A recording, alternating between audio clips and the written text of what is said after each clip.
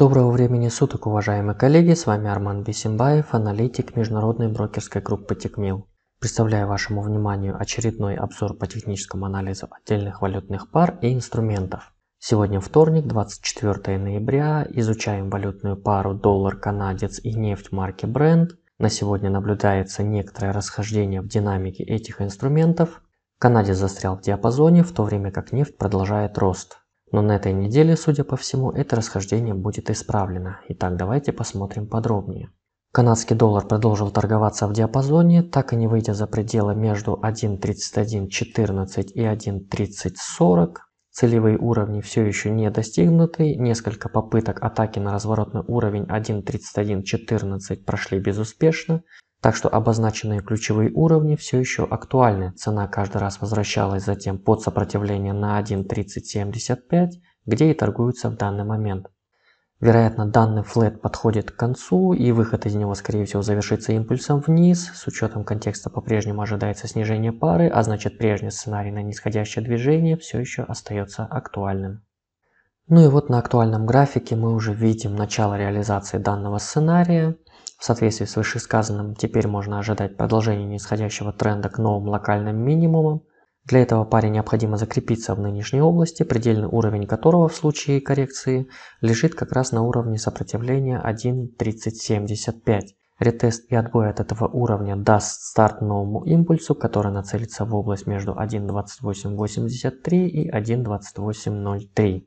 В свою очередь, отмена данного сценария состоится при продолжении роста и закреплении выше разворотного уровня на 1.3114.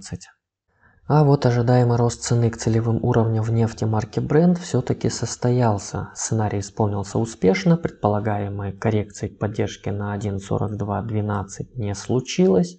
Цена была остановлена уже на уровне 1.4299, оттолкнувшись от которой начала новую фазу роста. После краткосрочного сопротивления на 44.29 котировки пробили его и к настоящему моменту уже достигли первую целевую отметку на 46.43. Достижение второго целевого уровня на 47.64 вероятно является вопросом времени.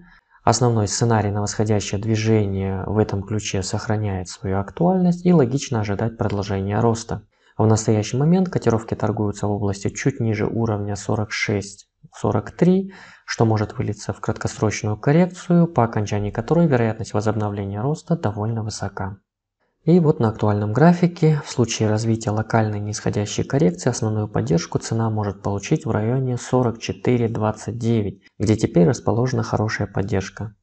Заход и последующий отскок из этой области даст шанс покупателям сформировать очередной восходящий импульс, который нацелится на новые локальные максимумы в области между 47.64 и вплоть до отметки 50.34. Отмена текущего сценария состоится в случае снижения и закрепления ниже разворотного уровня на 42.99. И на сегодня у меня все. С вами был Арман Бесимбаев и это был мой обзор по техническому анализу от компании Тикмил. Я желаю всем профитной недели и до встречи в следующем выпуске.